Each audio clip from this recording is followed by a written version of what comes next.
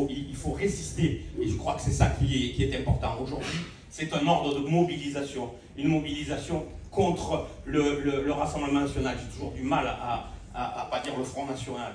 Euh, c'est vraiment grave ce qui est en train de se passer, ce qui se passe un, petit peu partout en, Europe. Et je crois qu'il est temps qu'on réagisse, qu'on soit plus violent que ce qu'on a été dans le, passé, parce que c'est devant nous une, nouvelle civilisation qui est en train d'essayer de, se mettre en place.